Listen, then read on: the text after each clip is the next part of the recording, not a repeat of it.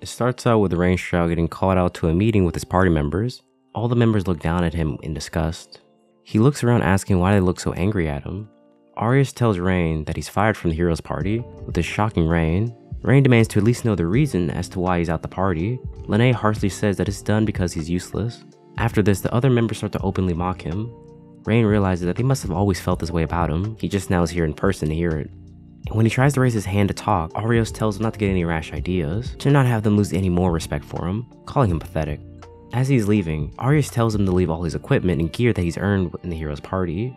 Rein leaves the party, along with returning all his gear, with them laughing at him. As he's sitting there on the bench, he starts to think about what he should be doing, with him now in the city of Horizon. While he's there thinking, some children run by, asking him if he's just completed one of his missions with the hero or not.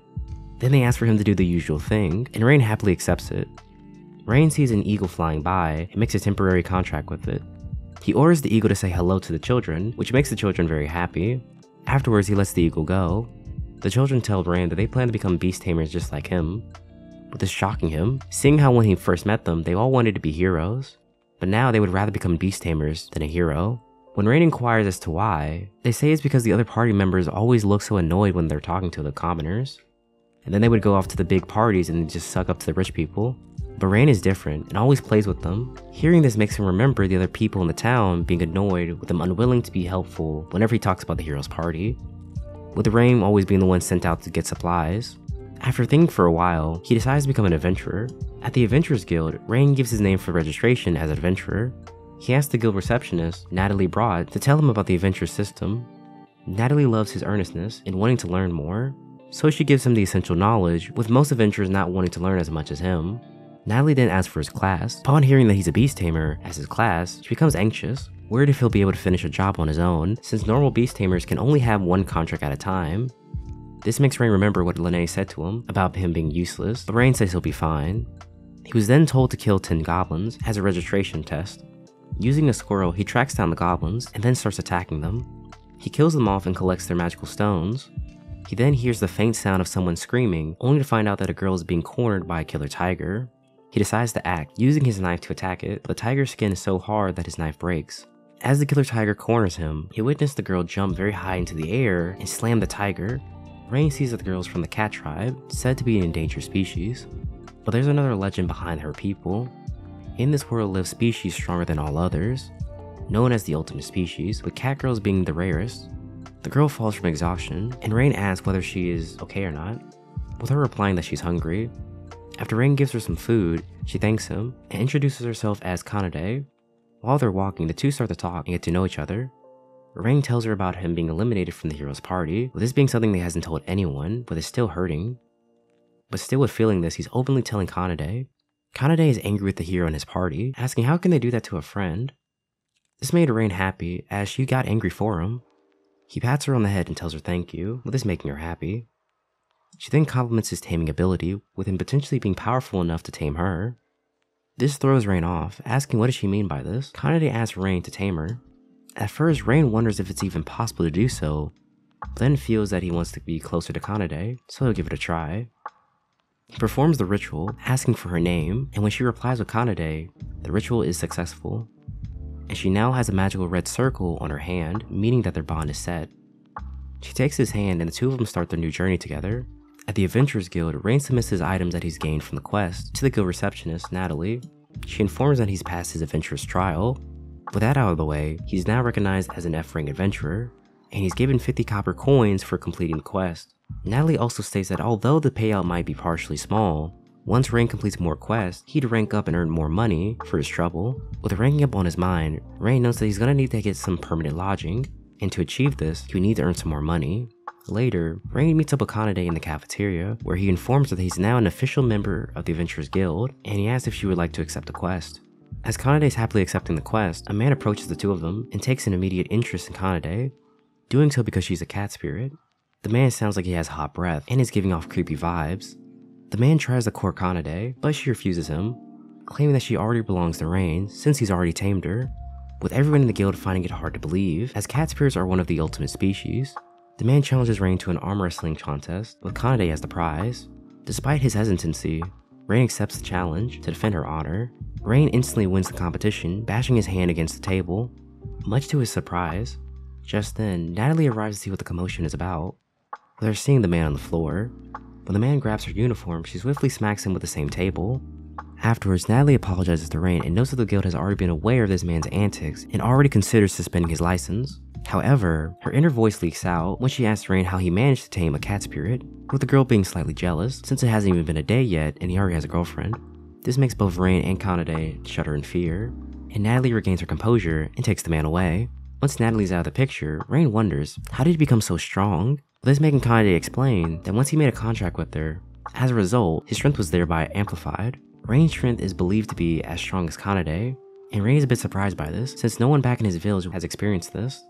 Excited to do a new job, Kanade's hopes are extinguished when all they do is herb gathering again.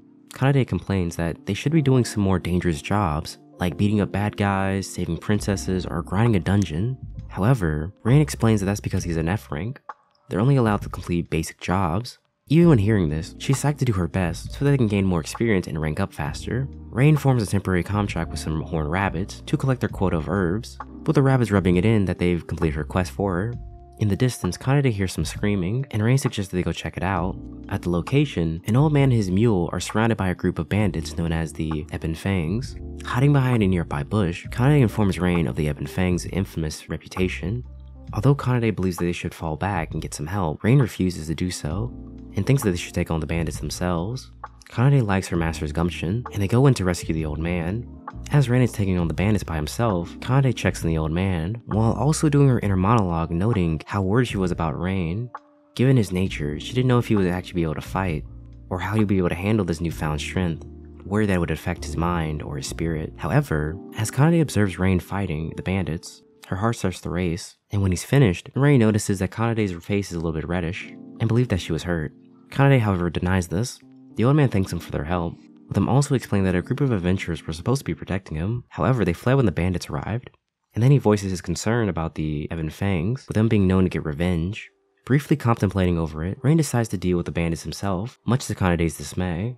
En route to their destination, Rein typically makes a contract with some animals around the surrounding area to do some scouting of the Ebon Fangs. He also explains to Kanade his reason for wanting to deal with the Ebon Fangs himself, and soon they reach the Ebon Fangs hideout, and Kanade is dejected that a temporary contracted animal has done more than she has, but they're mad that someone else beat her to the punch. Rein then apologizes to her, with this helping her regain her composure. Rein starts to detail his plans, with it hinging on him having a temporary contract with the RBs, who have a special ability of paralyzing people for over 12 hours. She's astonished that Rein could tame such an insect, despite being a beast tamer. He tells Kanade that back in his home village, he learned the basics of beast taming and a subclass of insect taming. As astonished as Kanade was, she's ordered to return back to the town to get some reinforcements while he's dealing with the Ebon Fangs while using the RBs. Although Kanade felt dejected again, with her not being used at Rein's familiar, the reinforcements that Rein wanted were called the Order of the Knights, a group of knights that are tasked by the government to uphold peace in the land. Understanding her task, Kanade leaves, and swarms of RBs arrive, and Rein forms temporary contracts with all of them. Elsewhere, two of the three adventurers who are tasked with protecting the old man are revealed to be Rein's old comrades, Mina and Leanne. Two of them curse their situation, how Arios and August are all sucking up to some nobles while they're forced to do an adventurous job. Afterwards, to redirect their frustration at the beast tamer that they hired, opting their dismay in his inadequacy as a beast tamer, Leanne posted him in the front, asking why he couldn't do a proper job defending them, with this confusing the Beast Tamer, since his entire job is meant to be support. If anything, he should never be in the front. They're then mad that he only brought one animal, with that being a squirrel to being a lookout, with this making him even more confused. The Beast Tamer claims that the demands of the two of them were too complex for him to accomplish. He claims that the notion of a Beast Tamer taming more than 20 animals is impossible, with him explaining that if he tried to tame more than one beast, he would get nerve damage, with most Beast Tamers doing the same thing. Leanne considers this to be a lie, but they're not willing to accept that the beast tamer that they formerly had, being Rein, actually was exceptional. So she begins to threaten him, saying that she has the power to destroy him in one shot. Having hundreds of spells under her arsenal, as well as their healer, being Mina, being able to resurrect the dead. So she makes him accept the full responsibility of this error, and the beast tamer runs away in fear. She internally refuses to believe that Rein is any higher than garbage that she thought him to be. Turning back to Rein's mission, his RBs are dealing with the remaining Ebon Fangs, and Kanade arrives with the reinforcements. As the reinforcements are handling the paralyzed bandits, Rein notices that only the adventurers are here, not a single member of the Knights of Order come to their aid. One of the adventurers mentions that the Knights of the Order had no time to deal with a bunch of bandits. At that moment, some king lizards break out of their cages, with the Ebon Fang members mentioning that they keep him around for special occasions, and as he says this, he's being attacked by his own king lizard.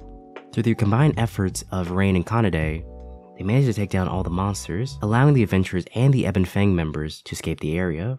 Eventually, Rein and Kanade escape the Ebon Fang's base, with Kanade holding onto the King Lizard's magical stones, and they're being praised for their accomplishments as they just now defeated a C rank monster. The praises sit well with Rain, with him recalling being kicked out of Arios' party and never receiving thanks for his aid, with him being so thankful that he now has Kanade. This is where we're gonna leave off in today's video. If you like today's video, here's another one just like it, so go check it out. I'll be breaking down this anime into multiple parts. Now if you like the video, make sure to leave it a like, and why not subscribe to the channel? I upload daily videos just like this one, so I'll see you next time.